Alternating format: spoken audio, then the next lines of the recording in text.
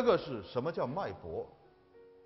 脉搏就是脉搏动的这种体相，或者是脉搏动的这个部位以及它所表现出来这些特点，这就叫脉搏。所以脉搏简单说就是脉的搏动，是不是啊？然后脉的搏动形成了这种体相，就叫做脉象。形成这个体相就什么样子？因为脉搏只是一个跳动吗？那么它形成了这种跳动的整个这个表现的这种形式，那就叫做脉象。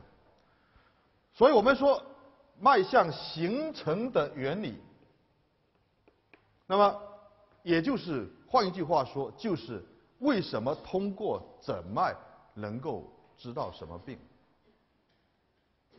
也就是说，这个脉象是怎么来的？脉象怎么来？脉象是脉搏来的，脉搏怎么来呢？脉搏首先第一个是中气，中气怎么来的？是两个部分来的噻，是肺吸入的清气和脾胃的这个水谷之精气结合以后形成中气的。中气呢，它在不同部位就发挥不同的功能的。在心，那就会灌心脉而行气血，是不是？那么它是到心就形成了心气，是不是？这个心气呢，它会推动血液，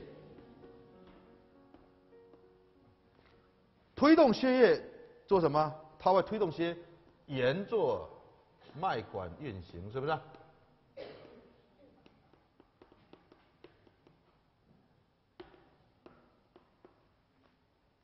那么中气在肺呢，可以湿呼吸，是吧？这能够湿呼吸，那么肺呢，肺朝百脉，是吧？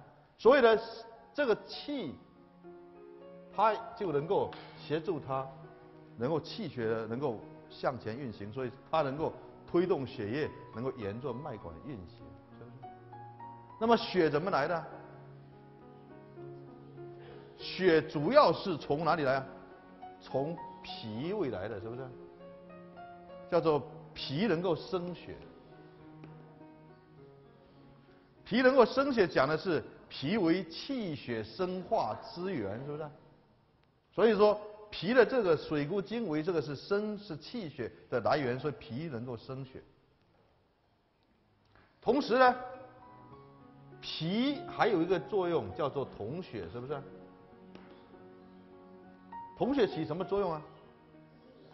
它是统摄血液，使得这个血液能够沿着脉管运行，而不至于溢出脉外，是不是？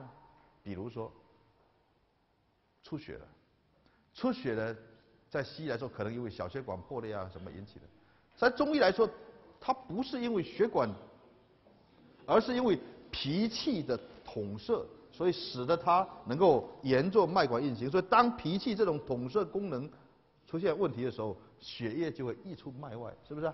所以呢，血能够沿着脉管运行，它需要脾的这个统摄的作用。除了这个之外，那么肝跟它什么关系啊？肝藏血。肝能够储藏血液，调节血量，所以血液的情况和肝有很密切的关系。那么肾呢？它因为精血是同源，是不是啊？因此呢，其实血液沿着脉管运行的这个过程，它不仅仅和血和脉管有关系，它更重要的，它可能和心有关系，和肺有关系，和脾有关系，和肝有关系，和肾有关系。因此呢，血液沿着脉管运行，实际上是五脏功能的协同作用的结果，它不是单一的一个环境。那么运行呢，就会形成什么？形成脉搏。通过脉搏动的情况呢？它可以反映出脏腑气血功能的正常与否。啊，因此，通过诊脉能够诊断疾病。道理很简单嘛，这就是这么说。你说脉象形成的原理，脉象形成的原理就是说，因为脉象形成和五脏六腑气血之间关系很密切，因此，脉搏、脉象它能够反映人体的脏腑气血功能嘛，这是就是这么个道理。那么人是以五脏为中心的，经络为联系的，所以我这里讲的虽然是五脏，实际上可以说明一个问题，它跟全身呢都有密切的联系。这个我希望大家呢都能够这样记住就可以了。第二个呢，书上提到的就是诊脉的部位，脉诊哪里？诊呢就是脉搏动的地方，也就是所有的脉搏动的地方都是我们诊脉的部位，是吧？可以这么说，只要是脉搏动的地方，都是我们诊脉的部位。但是呢，这么多部位，它能够啊反映人体的生理病理情况，那么它必须要有一个基本的一个。规律啊可以遵循，否则的话，你怎么能够通过脉搏来诊断疾病呢？因此呢，在长期的实践中，就古人呢就对诊脉的部位进行了一些归纳和总结，并形成了体系。这里面讲的大致上有这么几种的分类的方法。第一个就是叫做片诊法。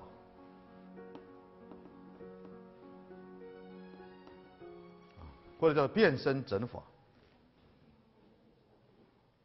什么叫变诊法呢？就是这主要是从《内经》开始，源自于《内经》，它对人体的比较主要的脉搏跳动的这些部位，它把它都把它归纳出来，形成了天、人、地三个部分。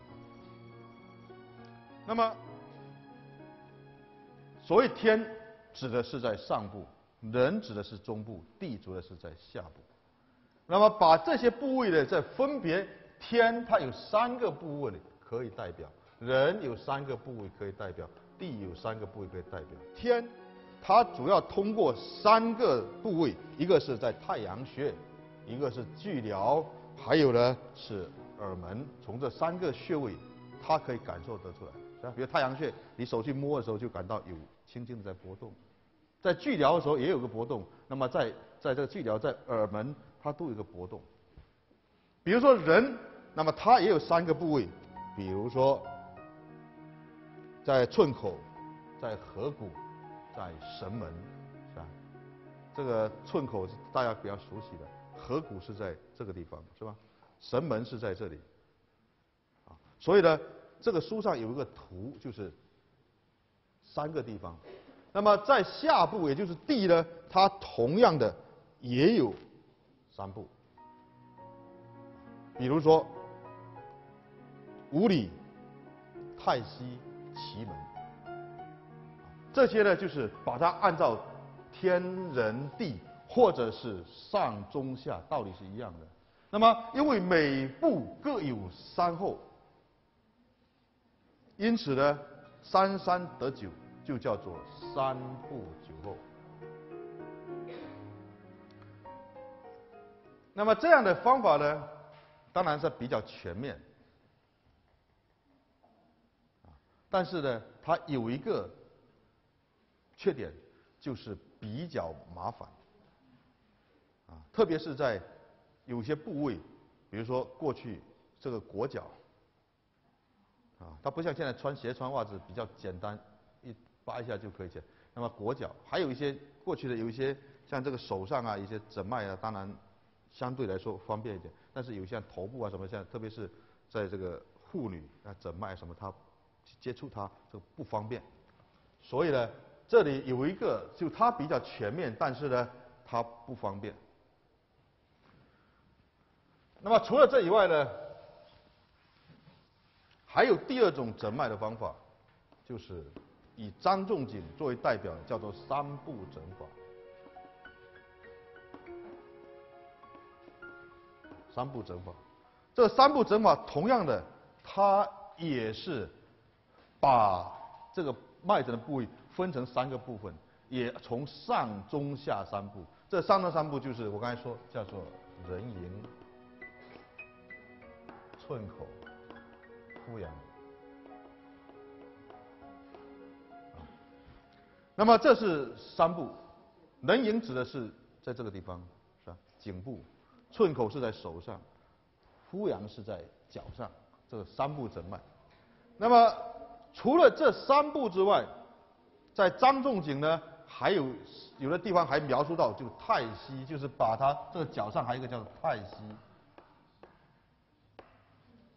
那么不管怎么说，就是人迎、寸口、敷阳三步呢，分别每步又分成寸关尺。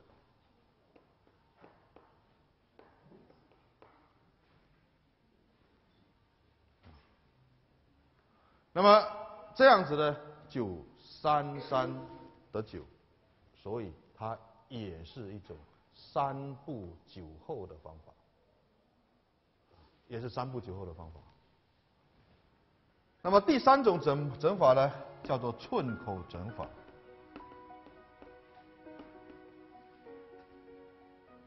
寸口整法是主要是从烂经开始。就明确提出来的就是叫寸口诊法，烂经叫做诊脉独取寸口，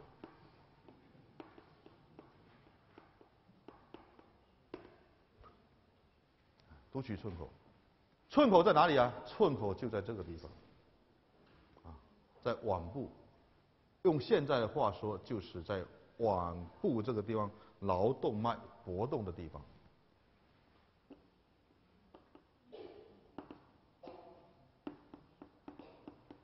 也就是说，是在腕部的脉搏动的地方，这个地方呢，我们叫寸口。那么寸口呢，它又根据寸口这三个地方呢，它分成三个部位，叫做寸、关、尺。寸关尺呢，分别又有浮、中、沉。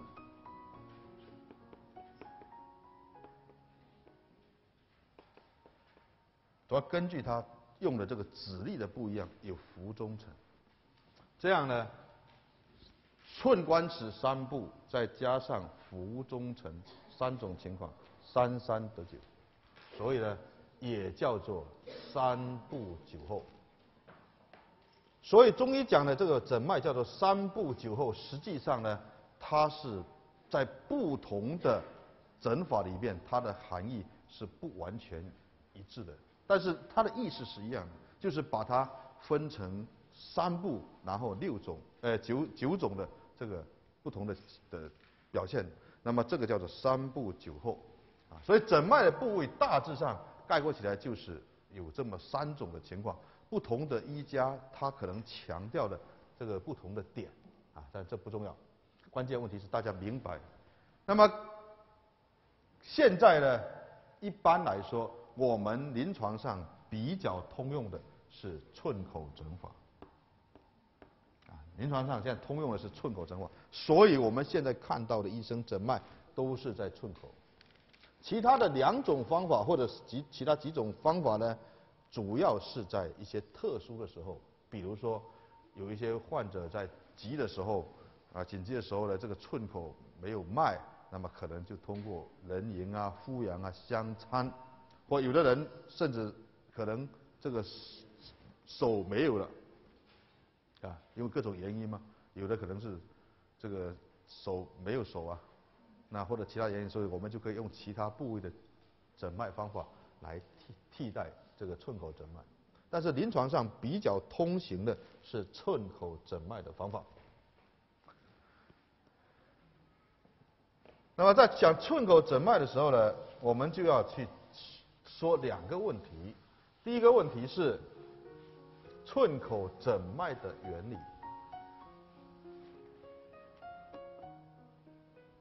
寸口诊脉的原理，就是说为什么通过诊寸口，就是读取寸口，它就能够诊断疾病。因为刚才讲的内经它是遍身诊法，那么它要诊全身的很多不同部位。那么现在你把它简约成最后就剩一个寸口，那总要说出个道理吗？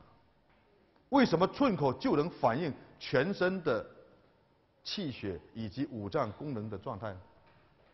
那么书上呢对这一点它有专门一个论述。寸口怎么原理？第一点呢，寸口是脉之大会。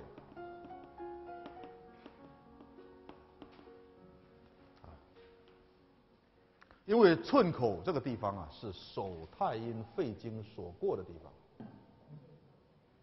我们说，这个手太阴肺经，它是起于中焦，是吧？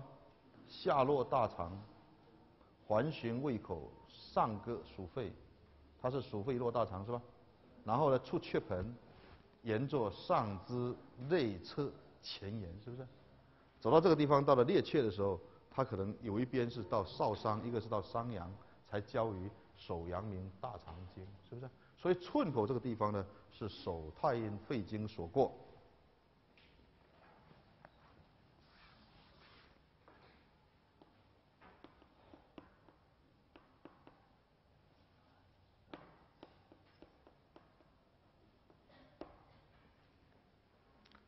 那么手太阴肺经呢，肺很重要，肺朝百脉，是吧？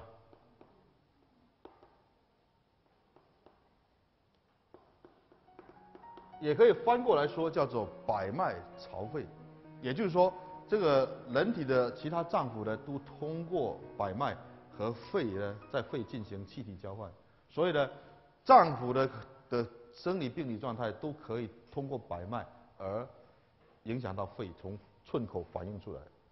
那么，所以寸口的脉的情况呢，它可以反映的脏腑的功能的状态。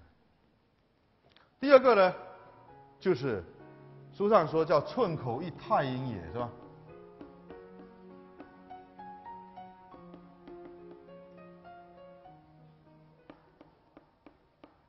那么寸口一太阴也就是它和脾的关系很密切，因为脾和肺是同名经，脾叫做足太阴脾经是吧？它们都是属于太阴经。那么脾在人体里面是非常重要的。我们说，脾是后天之本，是吧？脾是后天之本。那么所以呢，所以叫五脏六腑之气味。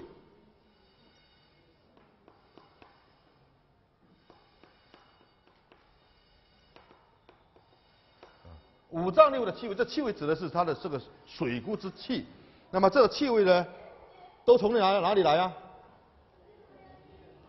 都出于胃是吧？皆出于胃而变见于寸口、气口。